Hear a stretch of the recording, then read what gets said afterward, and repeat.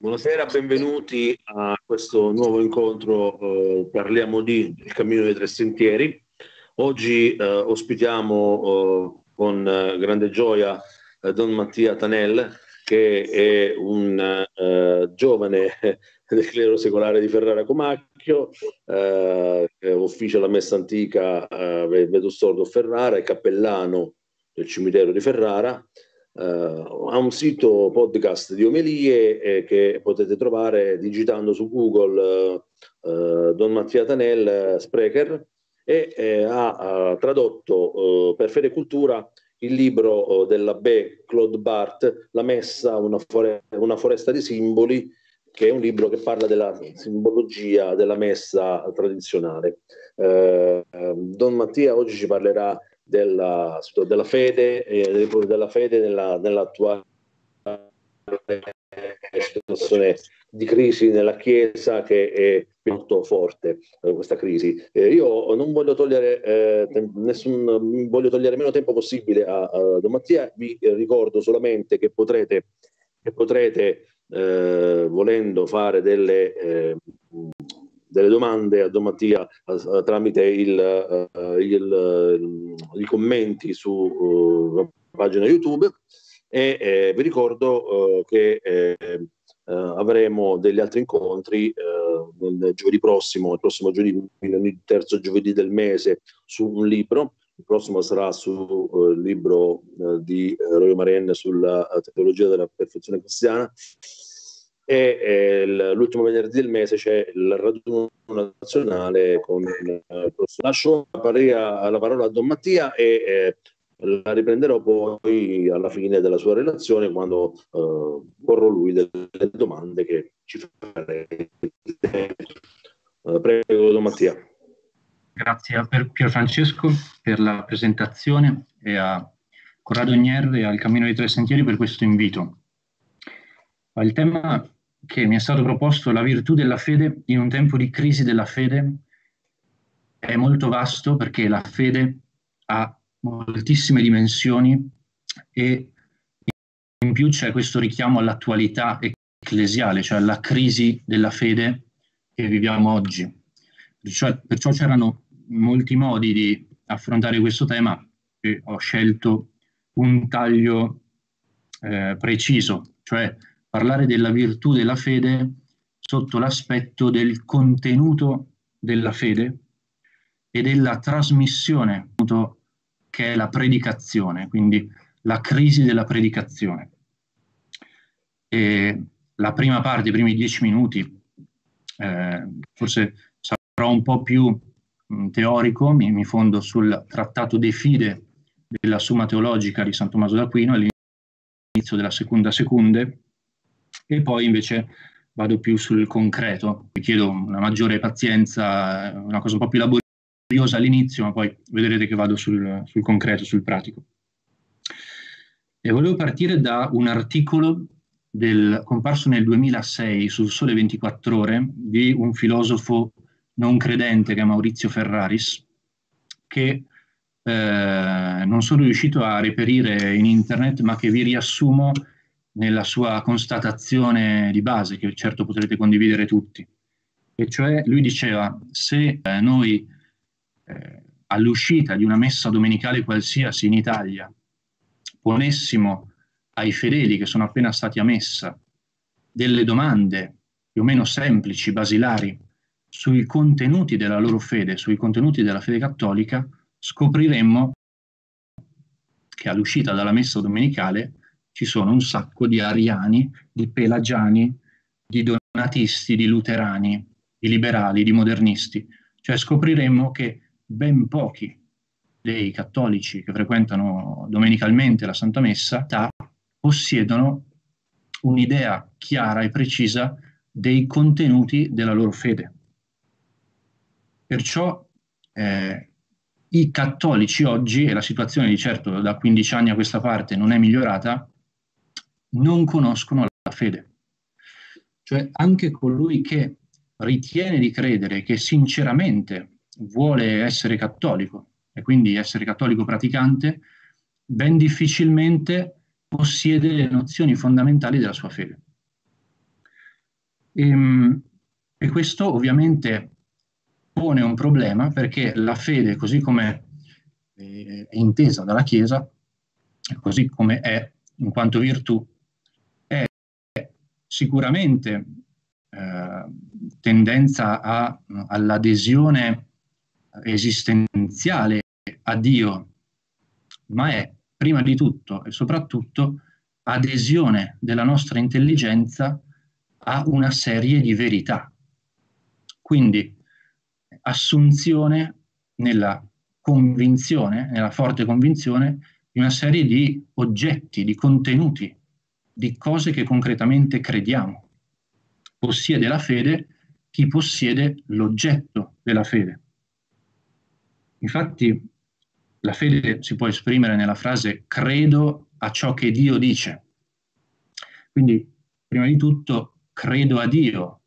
Una dimensione della fede è il credere Deo. Credo che Dio è veritiero in ciò che mi propone e che attraverso la Chiesa mi è manifestato come oggetto di fede.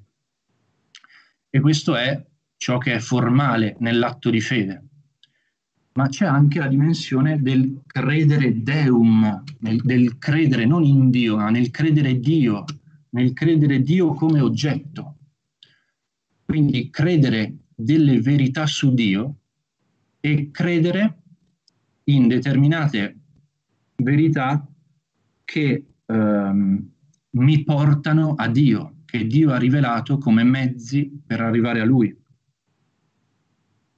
Perciò non solo accettare Dio nell'autorità della sua persona, cosa che ovviamente è necessaria, credere Dio, ma anche aderire a Dio come a realtà creduta.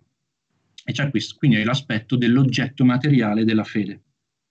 Per dire credo a ciò che Dio dice, devo sapere ciò che Dio dice. E quindi devo essere istruito in ciò che Dio dice in ciò che la Chiesa mi propone a credere. Poi c'è la terza dimensione del credere in Deum, che è la dimensione che eh, non riguarda più solamente il mio intelletto, la facoltà dell'intelletto, ma riguarda anche la facoltà della volontà, cioè quello slancio, quella tendenza di adesione a Dio che è propria della fede quando è formata dalla carità. Ma questo credere in Deum è possibile se prima c'è il credere Deo e il credere Deum, cioè oggetti di fede.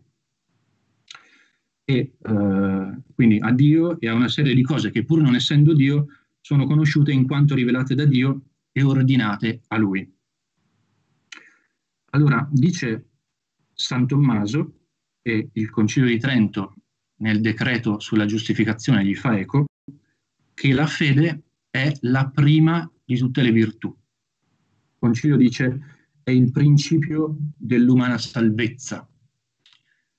Questo perché, innanzitutto, Gesù dice la verità vi farà liberi. Cioè, la liberazione dell'uomo dall'errore circa Dio e le cose divine costituisce il primo momento della salvezza. La salvezza fondamentale è la liberazione che la verità apporta al mio spirito, la liberazione dall'errore. Quindi c'è un momento negativo nella fede. E poi c'è un momento positivo, cioè io devo conoscere l'ultimo fine, che è Dio, il mio fine ultimo, e devo conoscere i mezzi che Dio ha stabilito per raggiungere Lui come ultimo fine. E questa conoscenza deve trovarsi nella mia intelligenza prima che nella mia volontà perché la volontà si muove solo verso qualcosa che è stato prima conosciuto dall'intelletto. È l'intelletto che mi indica l'oggetto a cui tendere, quindi l'oggetto a cui la mia volontà deve tendere con amore, con carità. Questo è il momento positivo. Cioè c'è una anteriorità della conoscenza sulla volontà e quindi anche una primordialità della fede sulla carità e sulla vita di carità. Io non posso volere nulla se prima non lo conosco. Perciò il credere e il credere degli oggetti determinati è necessario all'amare, è necessario alla mia vita di carità. e quindi alla mia vita di grazia. Ecco perché la fede non è primaria rispetto alla carità, perché sappiamo che la virtù principale e che rimarrà in paradiso è la carità, ma la fede è primordiale rispetto alla carità, cioè viene prima la fede e questo mi consente poi di agire nella carità. Perciò, come dice uno scrittore ecclesiastico che è Tertulliano, in una sua opera che si chiama De Prescriptione Ereticorum, alla fine, in realtà la fede sarà la prima virtù su cui saremo esaminati nel giudizio futuro. Lui dice nel giudizio futuro in cui dovremo tutti comparire davanti al tribunale di Cristo per rendere conto in primo luogo della nostra fede, della fede come adesione eh, a Dio, ma anche come conoscenza di Dio. Se avremmo conservato conoscenza di fede se l'avremmo implementata nella nostra vita. Anche su questo saremo giudicati. E quindi questo è l'aspetto della fede come contenuto. Uh, noi dobbiamo possedere la fede come contenuto nella interezza della dottrina sacra. Comprende i dogmata fidei e i dogmata morum, cioè i dogmi relativi alla dottrina e i dogmi relativi alla vita morale, ai costumi. La conoscenza della dottrina morale è necessaria per una vita morale retta, la conoscenza della dottrina dogmatica è necessaria, ad esempio, per la nostra vita di preghiera, perché la lode, la gratitudine, l'ammirazione, la contemplazione stessa si fondano sulla conoscenza di ciò che Dio è e di ciò che Dio opera e ha operato. Inoltre, la fede, la conoscenza materiale dell'oggetto materiale della fede è necessaria per l'apostolato, è necessaria per la formazione, è necessaria per autopreservarci dagli errori o preservarne altri.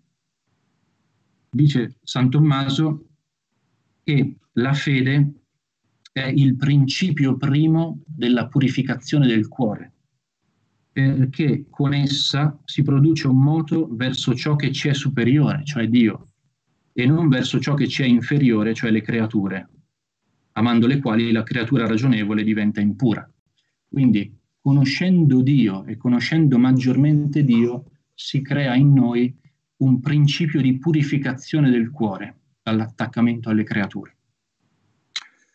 E poi c'è un aspetto anche di gratuità nel nostro desiderio di conoscere maggiormente la fede.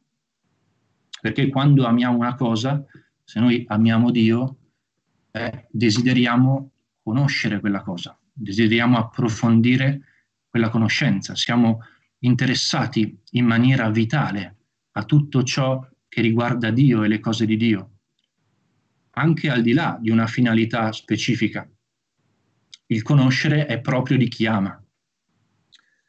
Perciò è importante che tutti noi come cattolici curiamo una conoscenza più estesa possibile della nostra fede, in senso proprio materiale, dell'oggetto materiale della fede.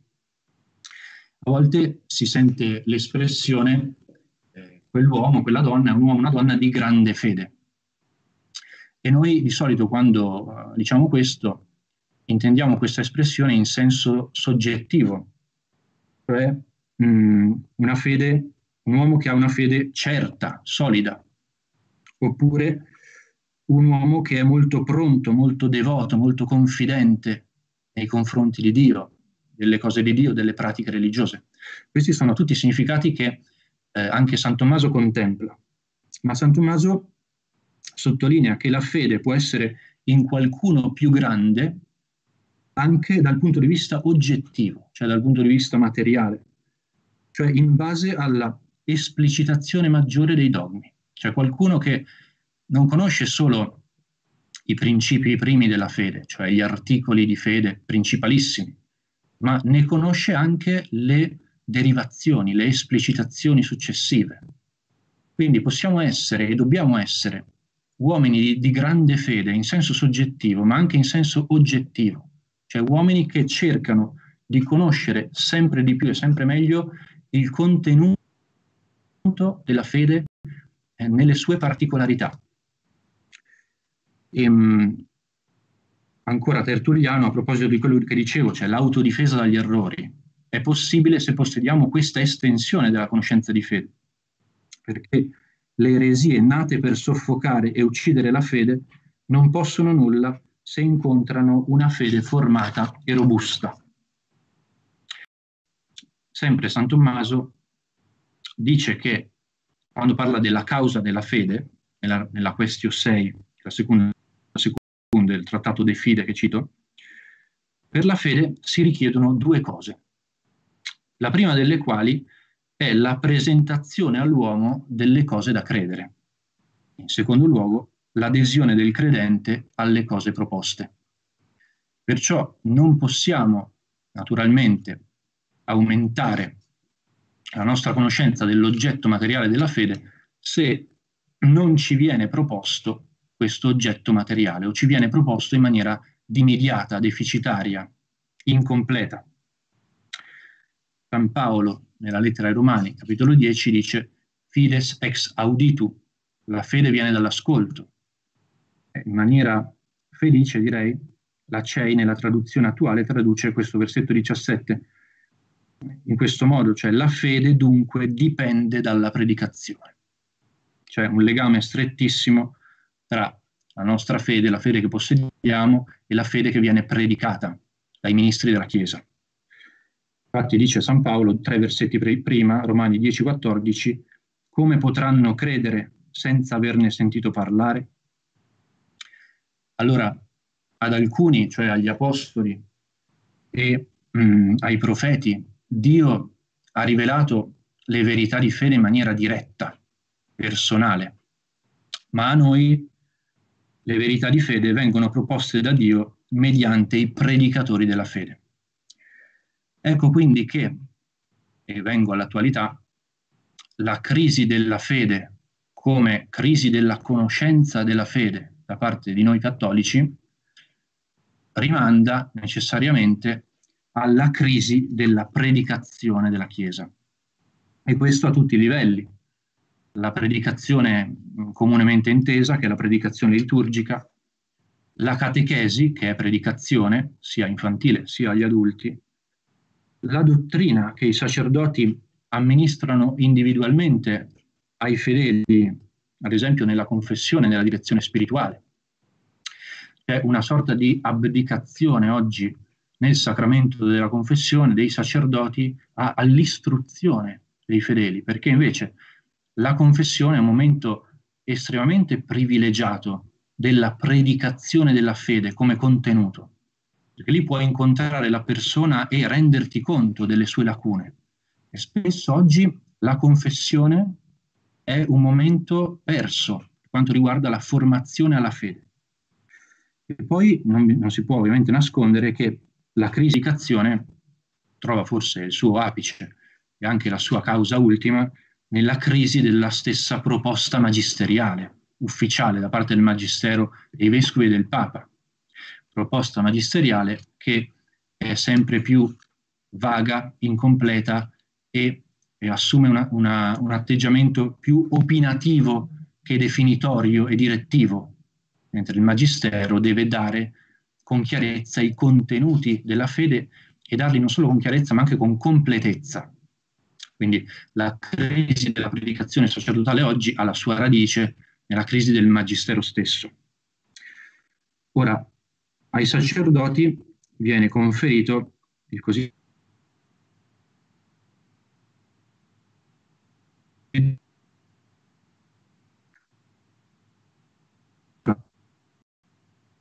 connessa con l'ufficio del sacerdote da doversi considerare imposta con l'ufficio medesimo.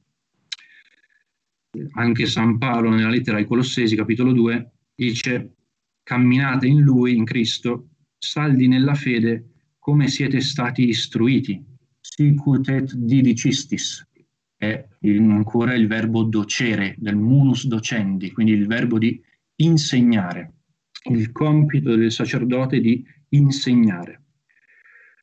Ora, perché oggi l'insegnamento dei sacerdoti, un lamento comune, è così deficitario, inefficace, talvolta erroneo, tanto che eh, viene in mente la, la frase presente nel libro del profeta Geremia, peribit lex a sacerdote, verrà meno la legge al sacerdote. Sicuramente, appunto, la radice ultima sta nella crisi del magistero pubblico del Papa e dei Vescovi, che termina ormai da vari decenni anche una crisi nella formazione che i sacerdoti ricevono nei seminari. Quindi c'è una crisi dell'insegnamento seminaristico, dell'insegnamento teologico. E su questo naturalmente non mi soffermo più di tanto perché sono dinamiche macroscopiche che meritano ovviamente di essere menzionate, analizzate, ma sfuggono alla possibilità di fare qualcosa almeno per noi. Quello su cui vorrei eh, piuttosto soffermarmi è un'altra causa, un'altra concausa, che è un equivoco nella nozione stessa predica- della predicazione. Cioè, accade che anche sacerdoti personalmente retti nella fede, ortodossi, ben formati, concepiscano oggi in maniera, a mio parere, erronea, incompleta, la predicazione, specialmente la predicazione liturgica. E qui eh, ricorro a una distinzione medievale tra predicazio e exhortazio, tra predicazione e esortazione. Mm, la Chiesa gerarchica nel Medioevo conferiva due distinti mandati a distinti soggetti. Il mandato di predicare, predicazio, e il mandato di exhortare, quindi di esortare, che poteva essere conferito anche a laici oppure a sacerdoti poco formati. Mentre eh, il mandato propriamente sacerdotale, quindi ciò in cui era, ehm, si faceva consistere il munus docendi, il compito di insegnare vero e proprio, eh, era affidato alla predicazio. Allora, la predicazio è vero e proprio insegnamento, insegnamento dottrinale della fede, mentre l'exortazio era uh, l'invito al cambiamento dei costumi, eh, quindi una predicazione più semplice, più uh, alla portata di tutti, che faceva leva sugli affetti, che faceva leva uh, sulla, sulla bruttezza del peccato, eh, sulla necessità di convertirci, di uniformarci a Cristo, una predicazione soprattutto morale. Quest'ultima si chiamava exhortatio ed era affidata a soggetti non necessariamente, eh, non necessariamente a ministri sacri o a momenti strettamente liturgici. Ed era ben, distin- ben distinta dalla predicazio, cioè dal compito specifico dei sacerdoti. Questa distinzione ha un fondamento, una radice anche biblica, sempre nella lettera ai Romani, capitolo 2, quando San Paolo dice abbiamo doni diversi secondo la grazia data a ciascuno di noi. Sive qui docet in doctrina, qui exhortatur in exhortando, cioè chi insegna si dedichi all'insegnamento, chi esorta si dedichi all'esortazione. Due atti diversi, insegnamento ed esortazione, che postulano anche due uh, carismi differenti in qualche modo. Ora, a me pare, mi sembra, mi sembra di constatare, naturalmente è una mia valutazione, una mia opinione, che oggi i sacerdoti concepiscano il loro munus docendi, la loro educazione, non più come predicazio, in senso medievale, ma solo come exhortazio. Quindi in termini, oggi si sa che la Chiesa ha smesso di parlare latino e ha iniziato a parlare greco, oggi si dice parenesi, cioè esortazione appunto. Anche se eh, la stessa eh, predicazione esortativa eh, di oggi ehm, è qualcosa di, di immediato, di diminuito rispetto all'esortazio, perché si omette completamente quella dimensione fortemente monitoria, ammonitoria dell'esortazio medievale Quindi, per esempio, si invita a una conversione di cui non si esplicitano mai i contenuti concreti. L'altro giorno ho partecipato da fedele a un funerale il sacerdote ha parlato della necessità di convertirci ai valori del Vangelo, eccetera, ma non c'era la determinazione di eh, in che ambito dobbiamo convertirci, da cosa, da quale vizio, verso quale virtù dobbiamo tendere. Non si esplicita mai un contenuto. Allora, bisogna invece, secondo me, eh, che si ritorni alla concezione della predicazione vera e propria, che è il compito dei sacerdoti. Perché la predicazione è innanzitutto insegnamento, è innanzitutto istruzione, è trasmissione di nozioni, è illustrazione il più completa possibile, per quanto alla portata delle persone, della sacra dottrina. L'azio non mira innanzitutto a smuovere gli affetti, quindi a muovere la volontà, ma a illuminare l'intelligenza.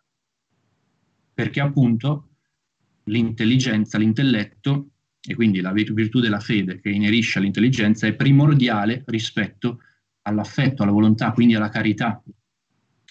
Dice Newman che è dalle sorgenti del pensiero che scaturisce ogni vera conversione e ogni durevole conversione e nella stessa ottica anche San José Maria Scrivà de Balaguer, nel suo, nella sua operetta Cammino, dice simpaticamente che gli uomini, come i pesci, bisogna prenderli dalla testa. Quindi è innanzitutto l'intelligenza che va illuminata. E questo era molto chiaro, uh, è sempre stato molto chiaro fino a tempi recentissimi, fino a a, prima del Concilio Vaticano II, che segna una cesura in questo modo di intendere la predicazione. Cioè la predicazione era intesa come trasmissione di precisi contenuti, tanto che la predicazione anche liturgica davanti alle Sante Messe eh, sono famose molte eh, diciamo, dispute medievali che avevano come teatro proprio la predicazione liturgica. Quindi ai fedeli si proponevano addirittura tesi teologiche in contrasto con altre tesi teologiche.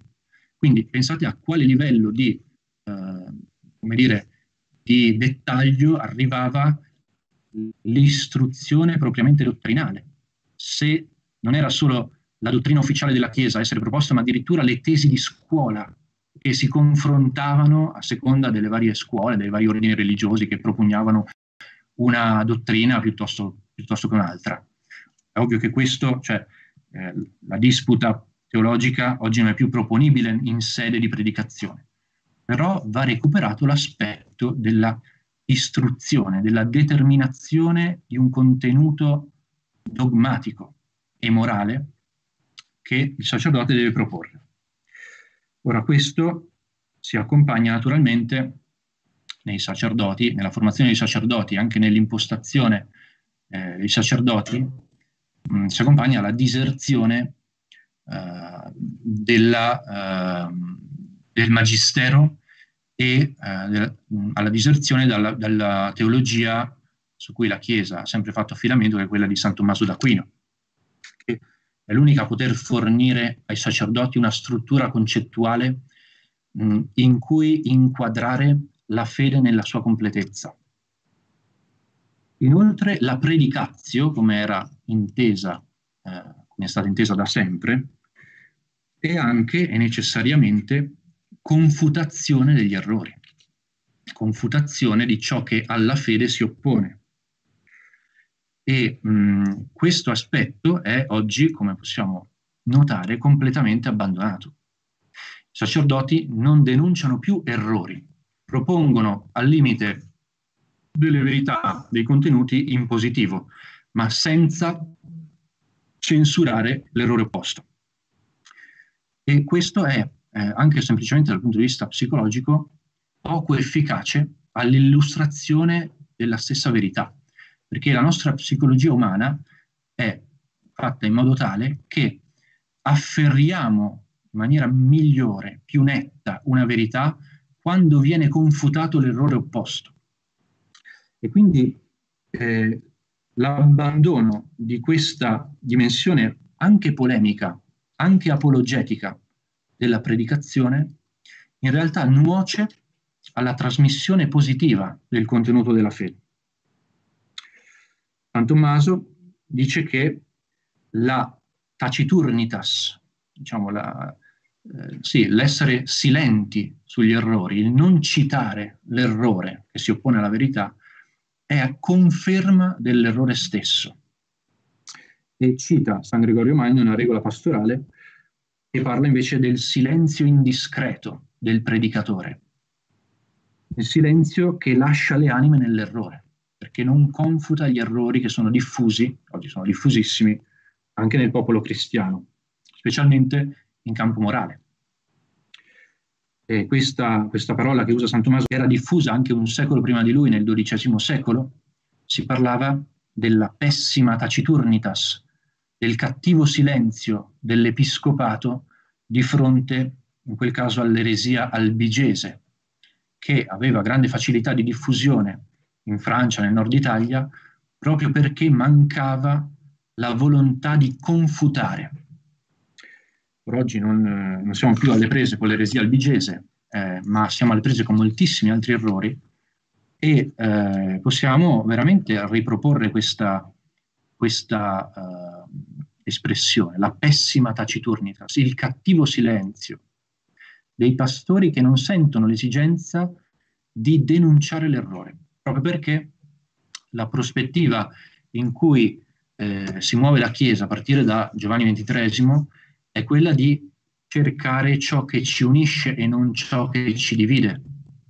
Ma questo conduce a una contrazione del contenuto predicato. Perché se io predico solo ciò che mi unisce, ad esempio che mi unisce ai cristiani di altre confessioni, ebbene sto omettendo ampia parte di ciò che forma invece il deposito della fede cattolica.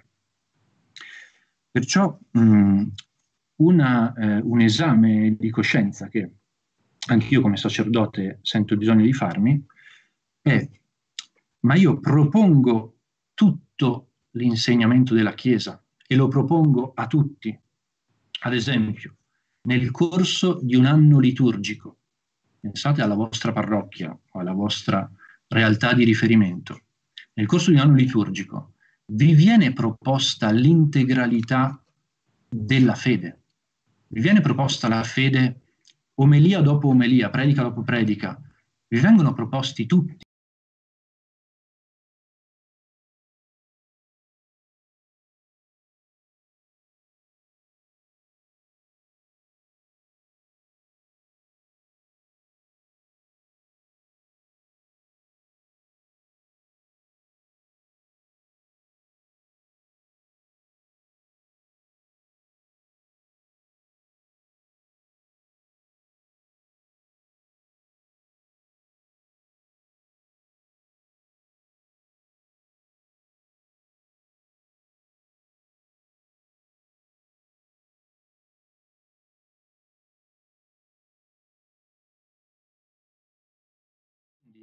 quei, quei fedeli, i fedeli di quella parrocchia, rimangono ignari su gran parte del deposito della fede.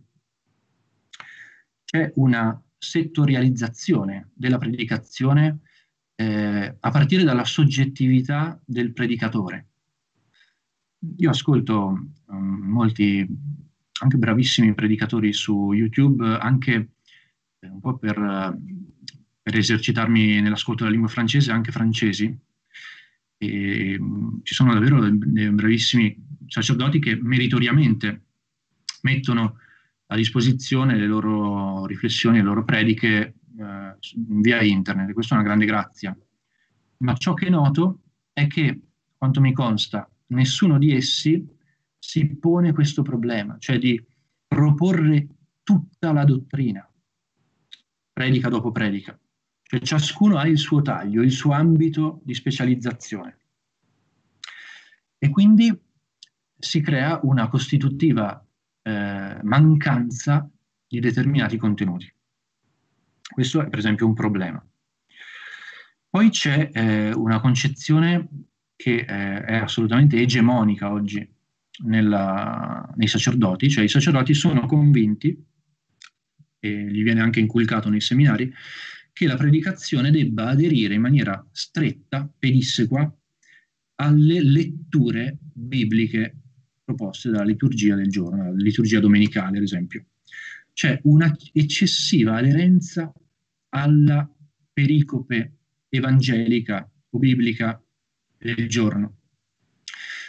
Mentre, e questo fa sì che la predicazione si trasformi spesso in lezio divina, in meditazione, cosa che la predicazione non è, perché la predicazione è insegnamento. E quindi io devo sì partire, se possibile, dal Vangelo del giorno, dall'epistola, ma posso anche, a volte eccezionalmente, non farlo e basarmi, partire, prendere lo spunto da un altro testo liturgico, cosa che è assolutamente possibile, quindi da un testo della liturgia propria di quel giorno. E, e poi devo passare alla proposta della dottrina cattolica, perché ciò che io devo illustrare, proporre ai fedeli, non è una mia meditazione sulla Bibbia, che rimanga alla Bibbia, ma è la norma prossima della fede, che è la proposizione della Chiesa, cioè la dottrina cattolica. Si dimentica cioè che la Sacra Scrittura, così come la tradizione apostolica che si esprime nei padri della Chiesa, sono norme remote della fede, ma la norma prossima della fede cattolica è il magistero, è l'insegnamento ufficiale della Chiesa. Ed è questo che devo proporre nell'omelia. È vero che Sacra Scrittura e tradizione apostolica sono norma normante, cioè norma che regola stesso, la stessa proposizione magisteriale, che dipende dal deposito della fede. Ma a livello immediato alla mia intelligenza giunge la proposizione della Chiesa. Quindi ciò che sono chiamato a predicare è la proposizione della Chiesa, è la dottrina della Chiesa. E questa eccessiva aderenza al dettato biblico mi impedisce spesso di arrivare alla dottrina cattolica.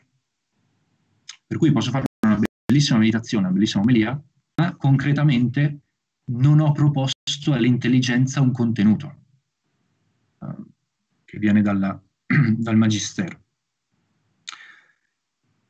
E quali sono questi contenuti che spesso oggi non arrivano, non, non sono uh, adeguatamente esplicitati? Sono soprattutto quelli relativi all'aspetto negativo Oggi c'è una grande difficoltà, anche psicologica, dei sacerdoti a proporre l'aspetto negativo della vita cristiana. Cioè, per esempio, eh, la lotta contro il peccato. Eh, il peccato mortale, non si sente mai più, non si sente nominare. Il peccato veniale, il peccato veniale deliberato, l'imperfezione, i vizi e i peccati nello specifico, il peccato originale, dottrina completamente scomparsa dalla predicazione oppure la lotta contro il mondo, la lotta contro il rispetto umano, la demonologia, l'esistenza di Satana e la sua azione, quindi la tentazione, per esempio, la necessità e l'eccellenza della sofferenza, il valore espiativo della croce, la necessità dell'ascesi, della mortificazione, della penitenza, il distacco dalle creature, la virtù della castità, nessuno predica più sulla castità. Eppure si è sempre detto che all'inferno si va il, per il peccato di lussuria o non senza il peccato di lussuria. Quindi è quanto mai urgente richiamare questo nella predicazione. Sono più che convinto che in passato, in quell'età che comunque è un'età di decadenza, che sono i decenni precedenti al Concilio Vaticano II, forse c'era un'eccessiva, eh, un'eccessiva, un'ossessività anche su questo tema, e quindi va rifuggito anche l'eccesso. Però eh, un'altra cosa è tacere completamente questo aspetto, cioè la virtù della santa purezza. Non so quando è stata l'ultima volta che ho sentito qualcuno predicare sulla purezza. Oppure l'escatologia, quindi il giudizio di Dio, l'inferno, argomento completamente scomparso, il purgatorio, le indulgenze, i suffragi, il timore di Dio. Tutto questo e molte altre cose che, fanno parte de, dell'aspetto negativo della vita cristiana non vengono predicate. Ma anche molti, molto di ciò che costituisce l'aspetto positivo della vita cristiana è oggi negletto nella predicazione, specialmente per ciò che riguarda ehm, eh, ciò che gli aspetti vocazionali, gli aspetti dei doveri di Stato, della scelta del proprio Stato. Per esempio, nessuno richiama più la dignità e l'eccellenza del sacerdozio, eh, la superiorità dello Stato virginale su quello coniugale, oppure i, eh, i doveri dei, dei coniugi, eh, la benedizione che Dio riserva alle famiglie numerose, la la mm, procreazione come fine primario del matrimonio, i figli come benedizione di Dio, eccetera. La responsabilità dei genitori sull'educazione cristiana dei figli, oppure anche le virtù non vengono più citate e anche eh, non, viene, non, viene, non si viene più incoraggiati nello specifico a vivere una determinata virtù, a come viverla, i doveri di Stato, eccetera. L'angiologia, anche la cristologia, la sacramentaria, cioè tutti gli aspetti propriamente dottrinali sono in qualche modo messi tra parentesi. E questo eh, sicuramente crea mh, mm, quello che si potrebbe chiamare un esoterismo sui generis. Cioè, io sto parlando comunque di sacerdoti retti che hanno la fede, che conoscono queste cose, ma che fanno fatica a esprimerle, a esplicitarle. Per cui l'integralità del messaggio cristiano, specialmente in campo morale, viene riservata all'istruzione privata ehm, che eh, viene data a fedeli magari più fervorosi o più interessati, cioè a fedeli predisposti, mentre agli altri, nella predicazione pubblica erga omnes, si nasconde gran parte della fede e della morale. E questo nasconde secondo me, nei sacerdoti un vizio morale, che è il timore, che è la pusillanimità, che è la mancanza di coraggio. Perché eh, si teme di creare nei fedeli, nei fedeli di oggi, che sono disabituati a sentire queste cose, si teme di creare disagio, rifiuto, sconcerto. Ma questo timore eccessivo è un vizio, perché è un timore che non è moderato dalla virtù della fortezza, e quindi c'è una sorta di calcolo nel predicare e nel cosa, nella scelta di cosa predicare. si tende a predicare cose che possano risultare accessibili, comprensibili eh, e che possano, cioè in, in poche parole si predica opportune e mai importune, secondo la definizione di San Paolo, che invece invita a predicare il Vangelo opportune, importune, cioè quando è opportuno e anche quando non è opportuno, umanamente parlando. C'è una predisposizione ecologica interiore all'eufemismo, all'attenuazione, all'adattamento verso il basso, anche all'eccessiva semplificazione dei contenuti e quindi alla condiscendenza verso l'ignoranza e anche verso la debolezza morale. E questa situazione che si protrae da vari decenni rende mano a mano sempre più difficile tornare indietro, cioè tornare alla integralità della proposta di fede che è propria della predicazio, cioè del munus docendi dei sacerdoti. E quindi rende sempre più difficile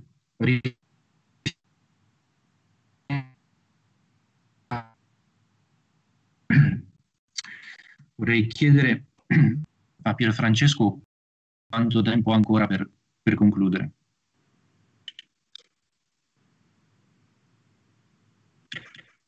Non ti, sento, non ti ho sentito. Comunque, penso forse dieci minuti ce li ho.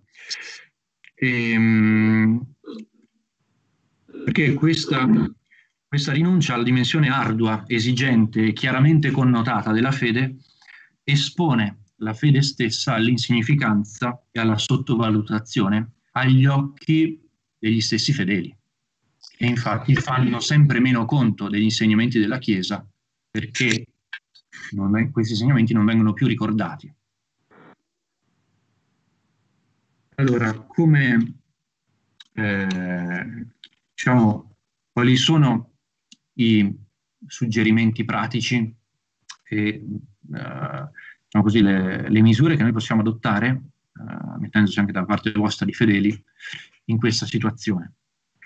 Ma sicuramente appunto internet costituisce un grande aiuto per integrare quella proposta di fede che eh, non è più appunto eh, integralmente fornita dalla predicazione parrocchiale ordinaria.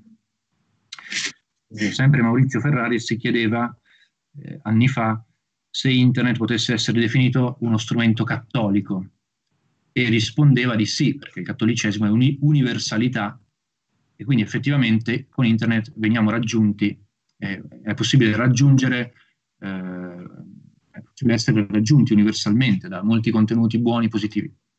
Anche se ad internet manca quella dimensione incarnata, la dimensione di contatto reale che è propria del cattolicesimo. Perciò internet può essere un succedaneo, può essere un aiuto, ma non è sicuramente eh, la soluzione.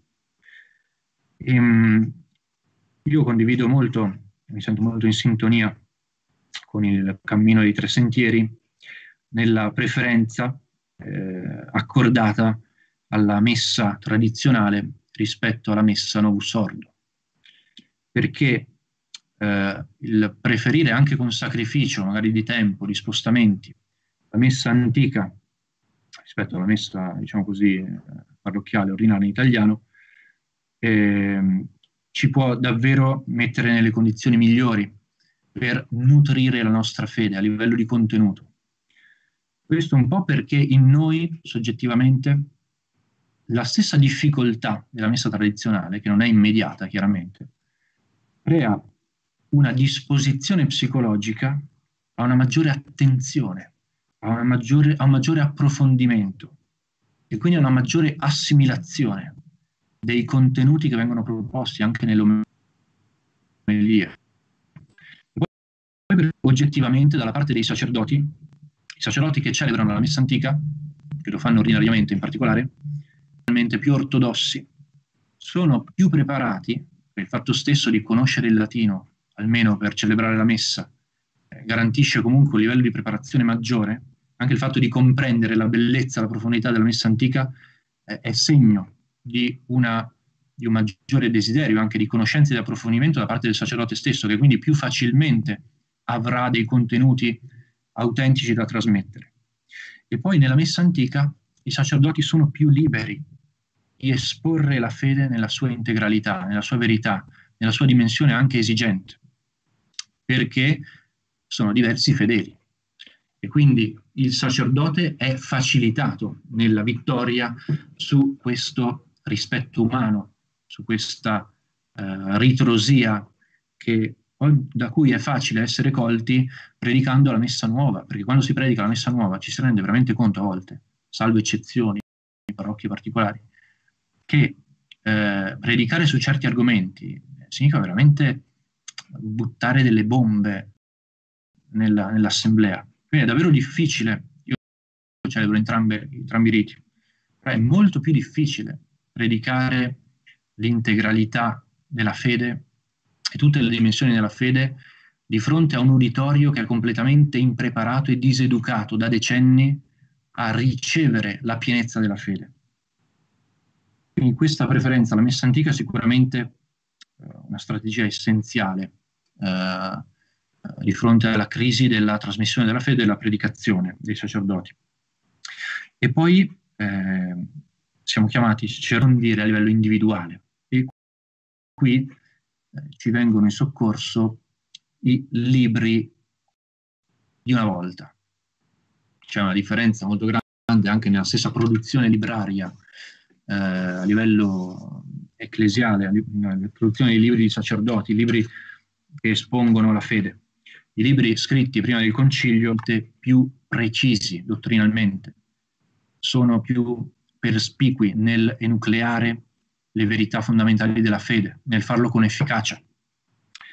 Eh, devono diventare un po' topi di biblioteca in questo senso, cioè andare a cercare le cose buone di una volta, a livello di spiritualità, a livello di apologetica, a livello di dottrina e anche eh, a livello, questa è una cosa veramente fondamentale nella autoformazione dottrinale anche di un, di un laico, a livello di biografie di santi. Le, biografie, le buone biografie, le classiche biografie di santi di una volta sono molto nutrite dottrinalmente, trasferiscono ottimi contenuti dottrinali, specialmente quando si parla di santi che sono stati magari mistici o sono stati teologi. Perciò eh, eh, anche la dimensione proprio della ricerca cartacea che eh, ci può eh, aiutare a superare quella superficialità e quella episodicità che una autoformazione basata es- esclusivamente su internet può indurre. Non è la stessa cosa leggere un contenuto su internet eh, o avere il cartaceo in mano che lo conservi nella libreria. Quindi eh, il recupero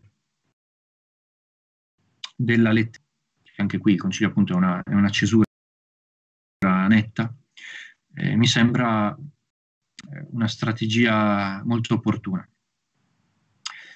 Poi, ehm, diciamo così, eh, è chiaro che eh, queste sono strategie di emergenza, perché la soluzione al problema deve venire dalla, dal, dal, fatto che i sacerdoti stessi eh, devono, credo, pongo appunto la mia opinione, eh, rendersi conto del loro dovere di esercitare la predicazio, nel senso che dicevo prima.